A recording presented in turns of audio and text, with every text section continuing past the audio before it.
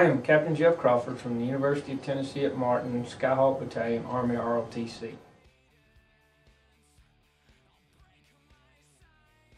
Overview of the program, it's a college-based program for uh, Army soldiers, uh, enlisted soldiers in the Army Reserves and the National Guard, are active component scholarship cadets to have financial assistance as they're going to college to become future leaders in the United States Army.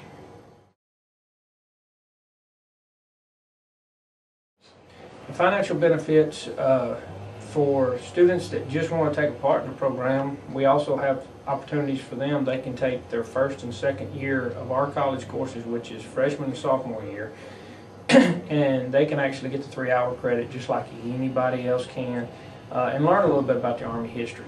Uh, the but when you actually get into our contracting status, a freshman's freshman makes three hundred dollars a month, a sophomore three fifty, a junior four fifty, and a senior five hundred, with an opportunity to be awarded a scholarship.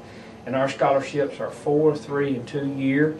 We have active component and we have reserve component scholarships.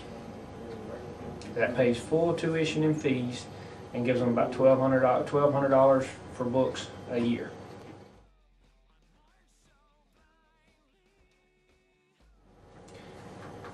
As as far as introduction or when we got introduced to Lambuth, we've actually been on campus now probably about a year, year and a half was actually when we signed the agreement.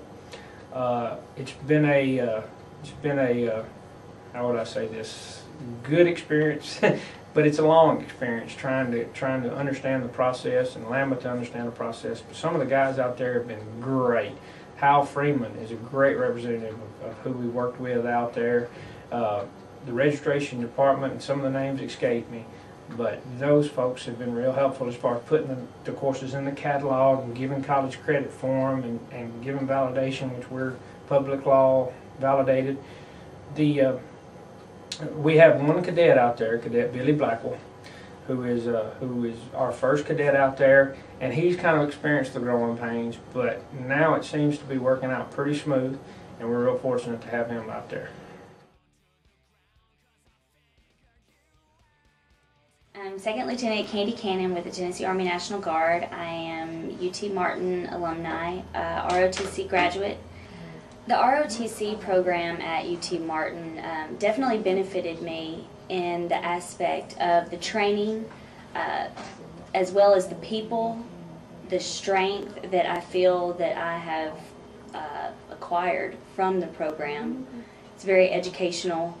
Um, when I go back to the training, it um, in every way from uh, infantry to the education side, the academic side. When I commissioned with the National Guard as an officer, I went into an engineer branch. Um, with that, I have learned so many things. Uh, mainly, I would like to say how to be um, a leader.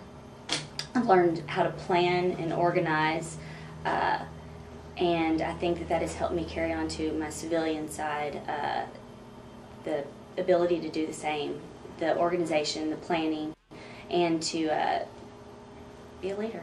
For those coming into the ROTC program, you can expect not only gaining friendship, but also taking away uh, lots of different attributes uh, as far as physical, mental, um, for your civilian life as well as uh, military life.